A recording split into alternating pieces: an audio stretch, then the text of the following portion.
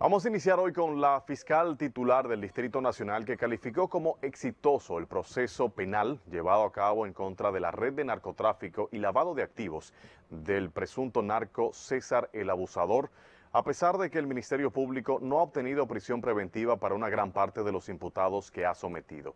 Paula Ledesma está en directo desde el Palacio de Justicia de Ciudad Nueva y nos dice más. Paula, buenas tardes. Cuéntanos. Gracias, buenas tardes. Tal y como acabas de adelantar, la fiscal Rosalba Ramos asegura que el éxito que ha tenido el Ministerio Público en torno a este caso de César Emilio Peralta, mejor conocido como César el Abusador, radica en que pudieron desarticular una red que tenía más de 20 años operando en el país y en tan solo dos semanas. Es importante destacar que de cinco extraditables, cuatro están presentándose ante la Suprema Corte de Justicia. Que en los 40 allanamientos de la mayoría de los que se están buscando, hubo una muy buena parte que fue el Ministerio Público que la apresó.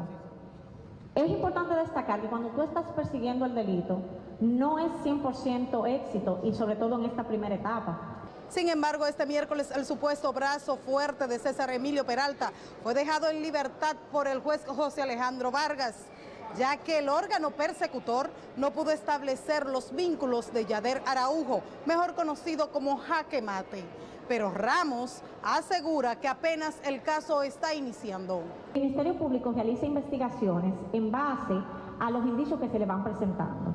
Esta es una etapa de la medida de coerción. ¿Qué implica la medida?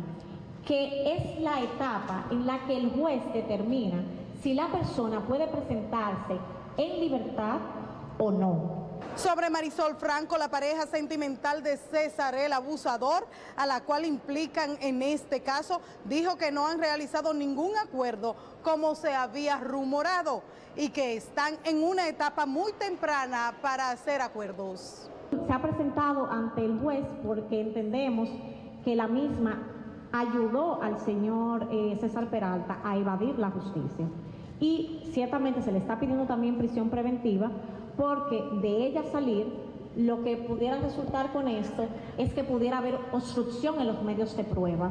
En tanto que el juzgado de atención permanente de aquí del Distrito Nacional aplazó para este viernes el conocimiento de medida de coerción en contra de Edward Montero. Ya serían para ese mismo día cuatro medidas de coerción. De mi parte es todo. Ahora retorno al estudio.